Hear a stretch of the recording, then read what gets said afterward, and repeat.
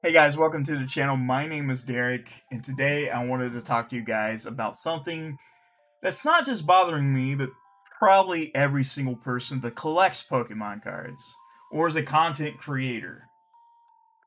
As a content creator, it's hard enough to get your name out. It's hard enough to get noticed, especially in the Pokemon community. There are so many people trying to be the next Leonhart, being the next real breaking Nate, the next unlisted Leaf. Everybody wants to do that. If you're a Pokemon creator, you want to get noticed. And it's getting harder. And let me go ahead and tell you why.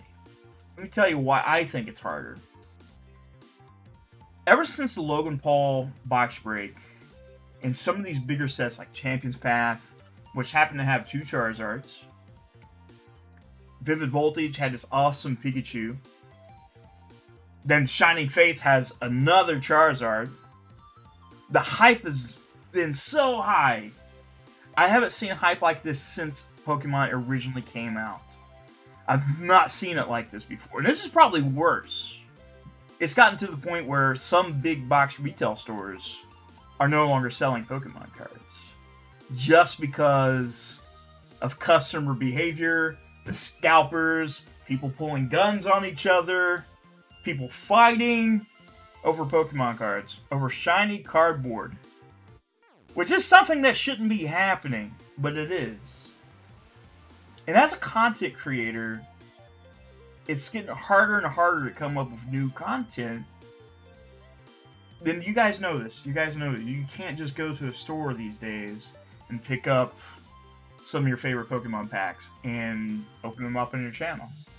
Can't really do that unless you want to pay scalper prices or if you get lucky on a restock day.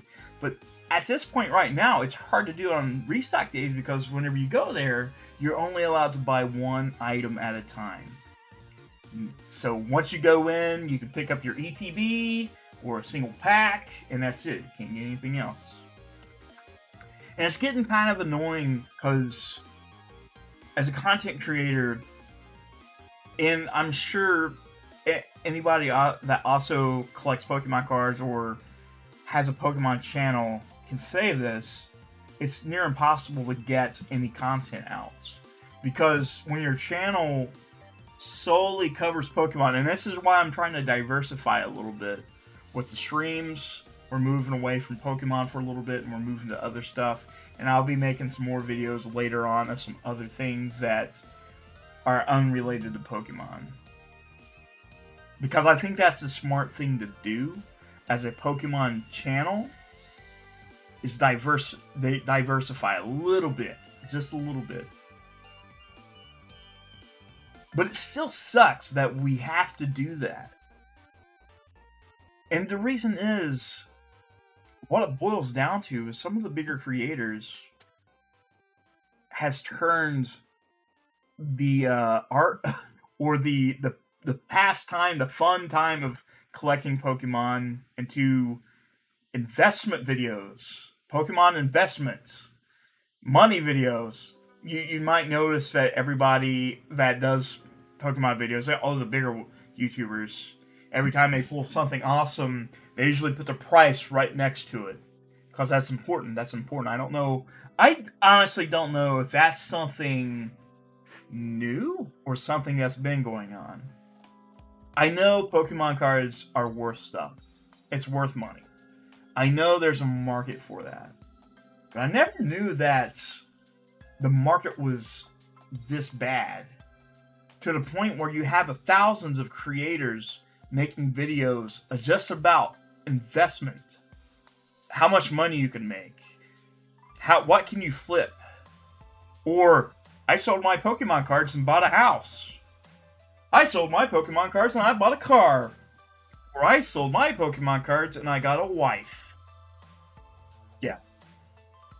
That happens. That happens. Uh, probably not the wife thing, but you know, it's possible they do have mail-in brides. I mean, that's possible. It's a possibility, I think.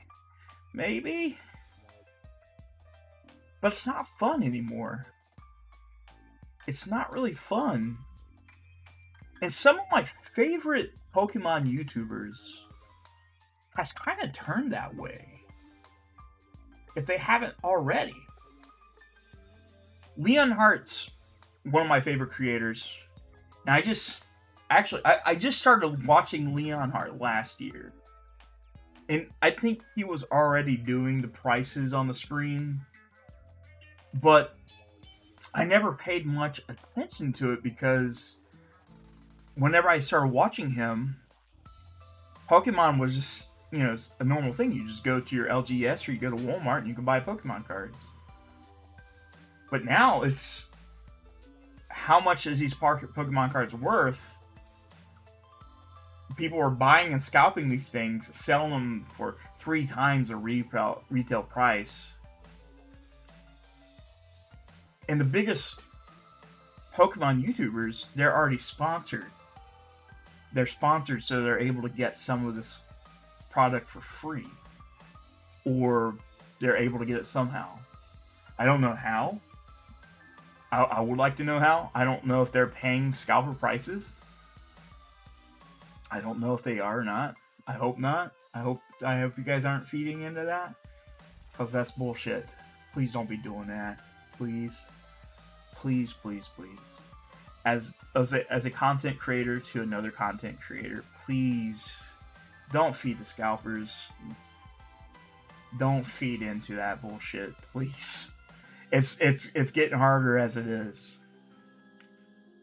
And like I said, it's it's to the point now where some of the bigger box stores like Walmart, Target, they're no longer going to be selling Pokemon cards because you know you have to worry about people getting in fistfights or pulling guns on each other for shiny cardboard. What it boils down to. And you know, it's kind of happening too with like sports cards, pretty much any collectible thing right now. Anything that's collectible but may have value, it's it's ruined. And it's what's happening now in Pokemon. It's getting to the point where being a collector or a content creator just isn't fun anymore. I don't want to make a YouTube video about investing in Pokemon. I don't want to put a price on every single card that I think is valuable on the screen. I don't, I don't want to do that. I don't want to do that. I think it's stupid. I, I think it's dumb. And I know people are like that because people will like money. People like money, and I don't blame you. I like money too. I love money. But I also love this hobby. I like this community a lot. And it's kind of annoying even some of my favorite YouTubers started talking about investment. They, they basically turned Pokemon into a stock market. Which again, I don't know. This this is me. I'm coming from a late. I'm a late bloomer. I, am a boomer when it comes to uh, Pokemon. So I started out in base set, fossil, jungle. That's whenever I started playing. But I never worried about the price of things. Whenever I open my video, whenever you watch my unboxings, and my videos are not that great. I can go ahead and tell you, it's nothing compared to what Leonhart makes or any other YouTuber. But I don't worry about the prices of something. I was like, I get excited. Yeah, I get excited whenever I get something and it has value, but I don't really care about, you know, talking about the value to me, it's just it's fun. It's another card to add to my collection. And it's hard to be a Pokemon collector and a content creator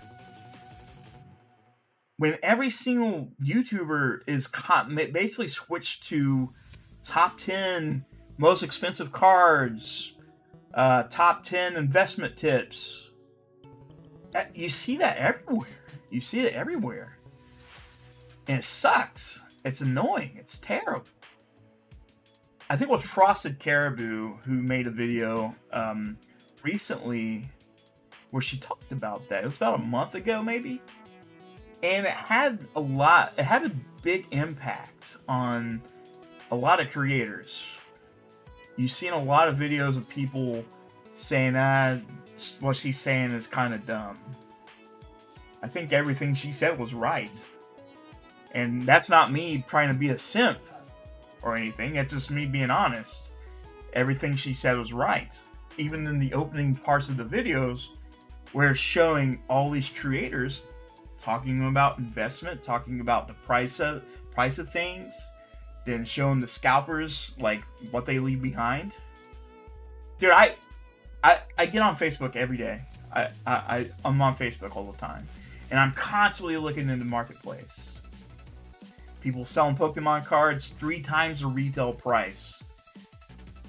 It got to the point where people were following the vendors' trucks to different stores so they can clean them out.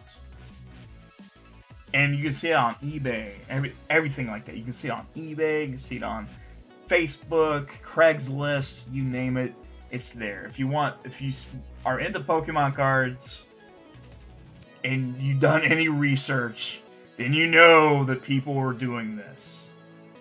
Even your favorite YouTubers even talk about this, but they don't really say, don't do that. They don't do that. I kind of feel like they're encouraging that. They're making the market artificially inflate. And I think there's going to be a crash. That's what I think. I think there's going to be a crash eventually. We're in this big bubble right now with hype so high. We haven't seen this type of hype in years. But eventually it's going to pop. And you're going to see a lot of these investment channels go away. Now, this might take a while. This could be this could be a couple months, a couple years. Eventually that bubble will pop. And I hate that. I hate that because I love Pokemon and I love, you know, getting my hands on new product. I like getting excited, seeing the new stuff that comes out. I like streaming. I like uh, opening up the boxes for you guys and, you know, random packs here and there. I love doing that. But it's going to get to the point where people are going to get burnt out people are going to get tired of it. Right now, we're in a pandemic. There's nothing people can do. So, what do they do? They find something like a TCG and they try that out. A lot of it's for money, though. A lot of it's for money.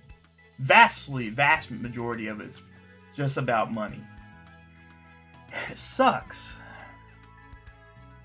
Man, it really sucks, honestly. Like, it really does.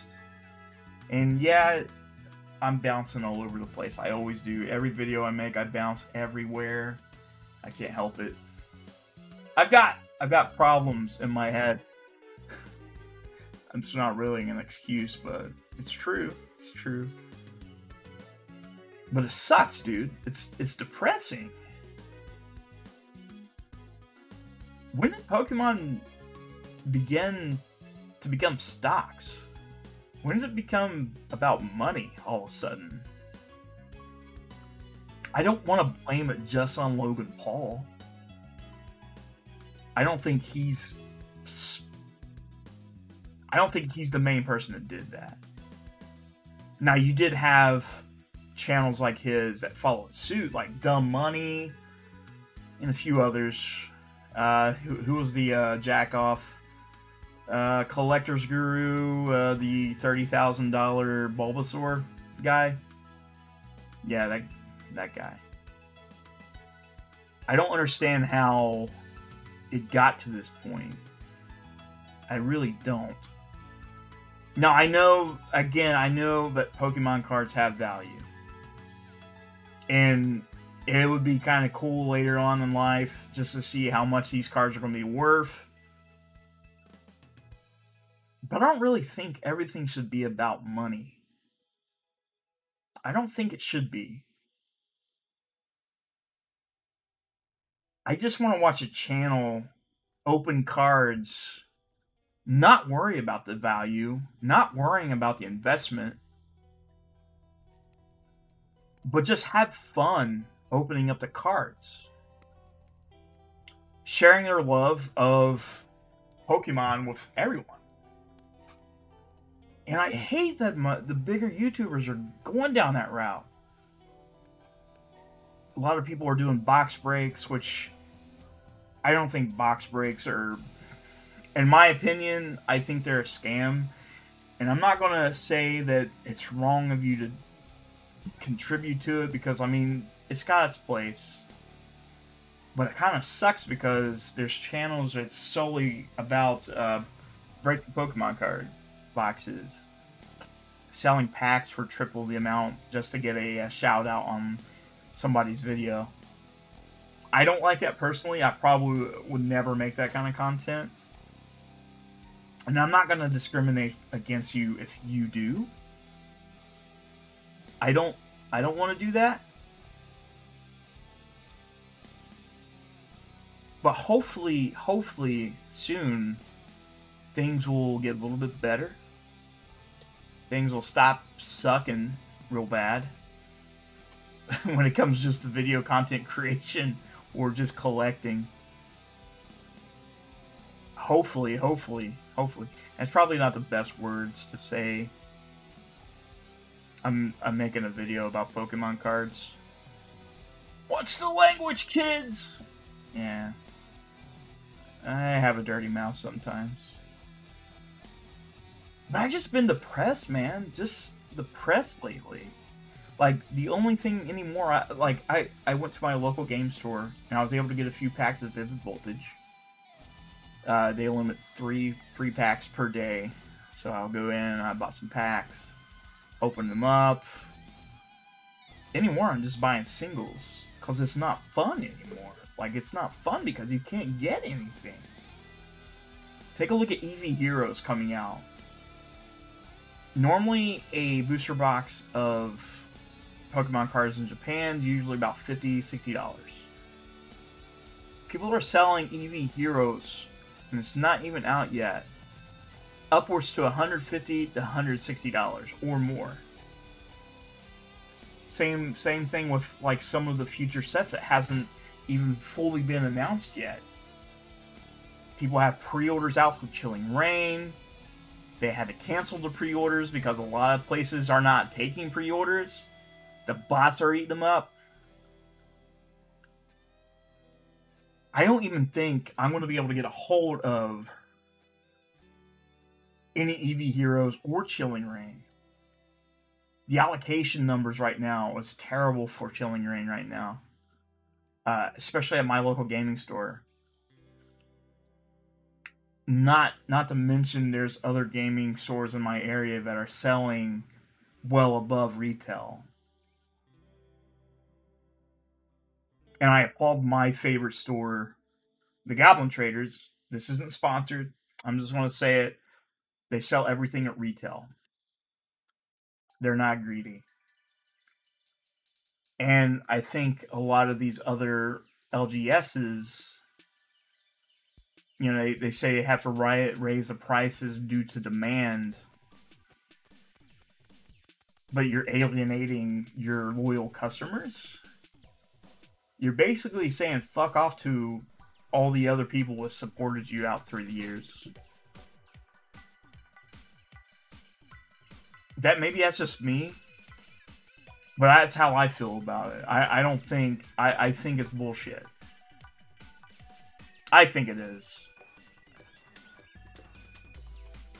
But I just want I just want to be able to open some packs, enjoy the hobby, not worrying about the money aspect of it, not worrying about the greedy investment side of it.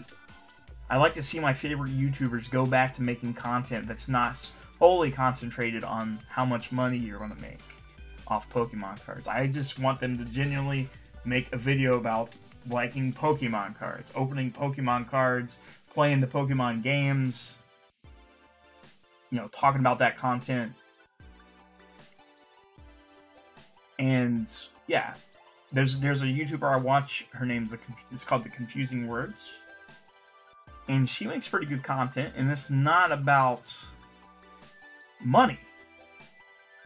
In a way, her content's like mine. She opens it up. She doesn't really talk about the uh, the money aspect of it. Really awesome, and I'm hoping I can have her on the next uh, PokeCast. I'm hoping I've talked to her a couple times. Um, and we've just been so busy. It's been hard to really get back, and I'm hoping I can get her on the next Pokecast. And whenever that does happen, I'll let you guys know. She's really cool. Check her channel out. Give her a follow. Um, yeah, man, it sucks, dude. It sucks. And I, you know, I got you guys here for 20 minutes. I think you heard enough of it. I'm, I, I think at this point, the further I go down, the more it's going to be me whining about it. And there's not much I can do about it. The only thing I can do is continue making Pokemon content the way I want to and not concentrate on money or investment. And I kind of hope that some of the other people follow suit and just make content that's has nothing to do with money. Just take the money equation out of it. Just have fun with it. That's what I think that should happen. I don't know if that's ever going to go back to that way. I think we're going to be like this for the rest of time. as long as the hobby exists, this is going to be a thing. There's probably not going to be any changes. But I'm kind of hoping the bubble kind of bursts a little bit. And I hate to say that. I hate to I hate to say that. It sucks, but I kind of hope that the bubble finally bursts. And maybe we can get content creators making content that's actually meaningful to the community and not greedy. But you guys have a great day. I definitely appreciate you guys uh, checking this out. Uh, one thing I wanted to let you guys know once we hit 500 followers, I'm going to be giving away either a copy of the new Pokemon Snap or I'm going to try to get you guys a boost, not a booster box, but a elite trainer box of Pokemon. Um, hopefully, one of those two. We're getting closer and closer to 500, and I definitely appreciate it. It would be kind of cool to hit it by May 22nd, which is my birthday. But if we don't, we don't. It happens. We, all I can say is we tried. Well, other than that, guys, you guys have a great day, and I'll see you soon. Hopefully, more content. Hopefully, with more Pokemon content.